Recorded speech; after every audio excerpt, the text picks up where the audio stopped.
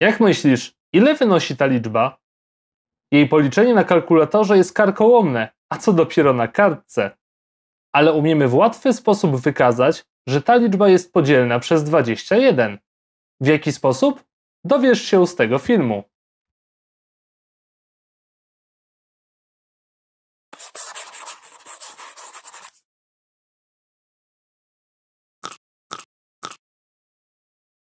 Mamy teraz takie zadanie.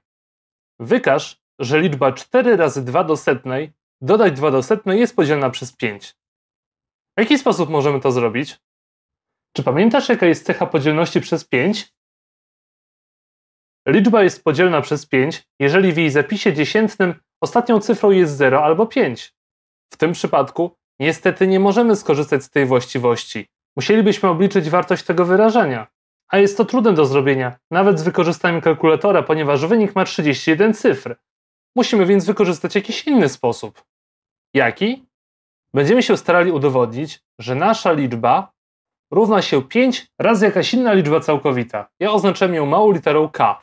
Zobacz, tak samo jak wiemy, że 100 jest podzielne przez 5, ponieważ to 5 razy 20. Małe k to w tym przypadku 20. Albo 65 jest podzielne przez 5, ponieważ to 5 razy 13. W tym wypadku nasze małe k równa się 13. Dlaczego jest tak ważne, aby k było liczbą całkowitą? Bo inaczej z tego zapisu, który jest prawdziwy, wynikałoby, że 5 dzieli 12, a wiemy, że jest to nieprawda. Tak więc musimy tutaj znaleźć jakąś piątkę. Zauważmy, że tutaj i tutaj mamy takie same czynniki. Jakie? 2 do potęgi setnej. Możemy więc wyłączyć się przed nawias. Z pierwszego składnika wyłączamy 2 do setnej i zostaje nam czwórka. Natomiast z drugiego składnika, przez co trzeba pomnożyć 2 do setnej, aby otrzymać 2 do setnej? Oczywiście przez 1.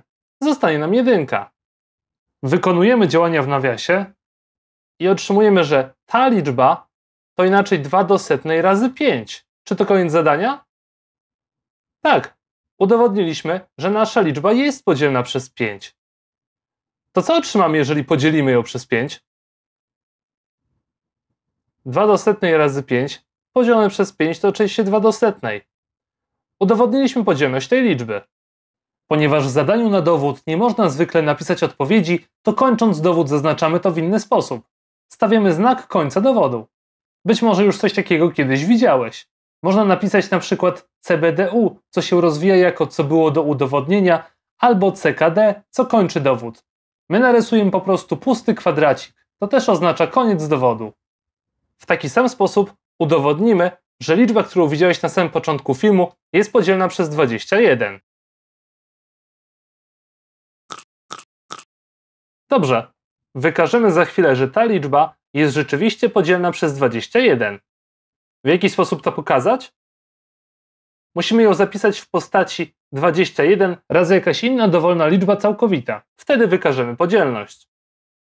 Co robiliśmy w poprzednim zadaniu? Wyłączaliśmy jakiś wspólny czynnik przed nawias. Pytanie do Ciebie. Czy mamy tutaj jakieś wspólne czynniki? Na pierwszy rzut oka nie, ale zauważ, że te wszystkie trzy liczby to potęgi czwórki, które nieznacznie różnią się wykładnikami. Tak naprawdę różnią się o jeden.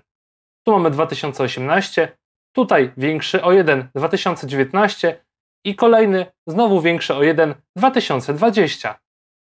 Niestety nie mamy wzoru na dodawanie potęg o tych samych podstawach. Istnieją tylko wzory na mnożenie i dzielenie. Ale dzięki temu, że te wykładniki są blisko siebie, możemy zastosować pewną sztuczkę.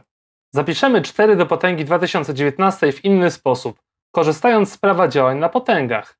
Możemy wykładnik rozpisać, że to 2018 dodać 1. A z prawa działań na potęgach możemy zapisać tę liczbę jako 4 do potęgi 2018 razy 4 do potęgi pierwszej, czyli po prostu 4 do potęgi 2018 razy 4. Zauważ, że zapisując w ten sposób mamy ten sam czynnik 4 do potęgi 2018. A teraz zatrzymaj film i spróbuj samodzielnie przekształcić 4 do potęgi 2020 w taki sposób, aby otrzymać ją w postaci iloczynu 4 do 2018 i jakiejś innej liczby. Analogicznie zapisujemy, że 4 do potęgi 2020 to to samo co 4 do potęgi 2018 plus 2, czyli to 4 do potęgi 2018 razy 4 do potęgi drugiej, czyli 4 do potęgi 2018 razy 16. W ten sposób otrzymaliśmy w każdym z tych składników 4 do potęgi 2018. Zatrzymaj teraz film i wyłącz odpowiedni czynnik przed nawias. Następnie włącz film ponownie i porównaj swoją odpowiedź z moją. Powinieneś otrzymać 4 do potęgi 2018 razy 1, dodać 4, dodać 16. Wykonujemy działania w nawiasie i otrzymujemy 4 do potęgi 2018 razy 21. Zapisaliśmy tę liczbę w postaci 21 razy jakaś inna liczba całkowita i tym samym udowodniliśmy, że jest ona podzielna przez 21.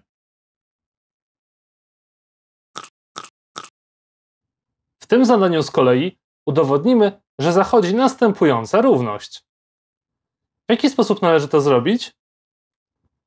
Musimy pokazać, że lewa strona tego równania jest równa prawej stronie tego równania. No dobrze, w jaki sposób to zrobić? Zauważ, że w tym równaniu mamy dwójki podniesione do różnych potęg. 4 to 2 do kwadratu, tutaj mamy 2 do potęgi 1 dziewiątej, tutaj dwójkę i pierwiastek z dwóch.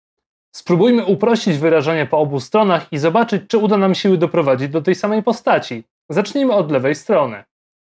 Jak już mówiłem, 4 to inaczej 2 do kwadratu, które podnosimy do potęgi 1 drugiej. Całe wyrażenie w nawiasie podnosiliśmy do potęgi 1,8, którą zapisałem w postaci ułamka zwykłego, aby wszystkie wykładniki były w tej samej postaci. 2 do kwadratu do potęgi 1 drugiej to tyle samo co 2 do potęgi 2 razy 1 druga. Otrzymujemy, że to jest 2 do pierwszej. Mamy teraz iloczyn dwóch potęg o takich samych podstawach. 2 do pierwszej razy 2 do 1 dziewiątej. Dodajemy wykładniki i otrzymujemy, że to 2 do 10 dziewiątych. Podnosimy to jeszcze do potęgi 9 piątych i ostatecznie otrzymujemy 2 do kwadratu. Jeżeli coś było dla Ciebie powiedziane za szybko albo czegoś nie zrozumiałeś, powtórz ten fragment jeszcze raz. Dobrze, uprościliśmy lewą stronę równania. Teraz samodzielnie zrób to samo z prawą stroną tego równania. Pierwiastek z dwóch to inaczej 2 do 1 drugiej. 2 przez 2 do 1 drugiej to to samo co 2 do potęgi 1 minus 1 druga. Czyli 2 do 1 drugiej do potęgi czwartej, czyli ostatecznie 2 do kwadratu. Prawa strona jest równa lewej stronie, czyli uzasadniliśmy, że ta równość jest spełniona. Dobra robota. A na koniec mamy takie zadanie.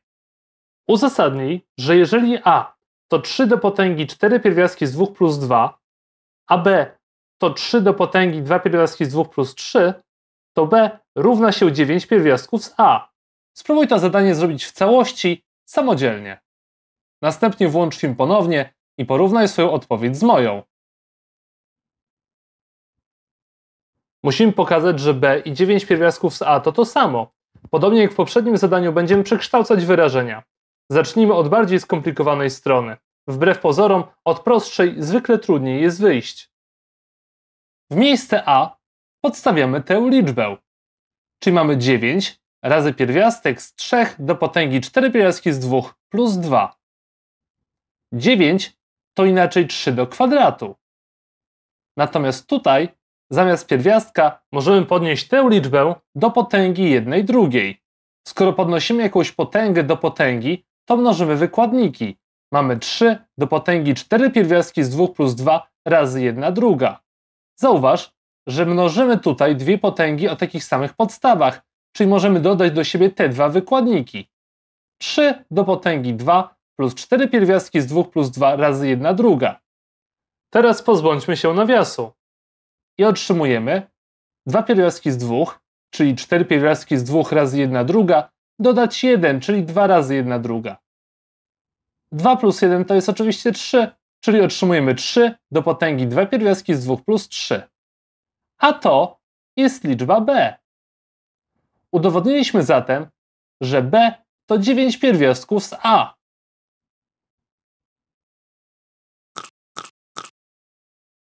Nie ma wzoru na dodawanie potęg o tej samej podstawie, ale jeżeli wykładniki są sobie bliskie, to można spróbować wyłączyć wspólny czynnik przed nawias. Zobaczyłeś właśnie kolejny film z playlisty o potęgach i pierwiastkach. Zachęcam Cię do zobaczenia innych filmów z tej playlisty, a także do odwiedzenia naszej strony internetowej Pistacja TV.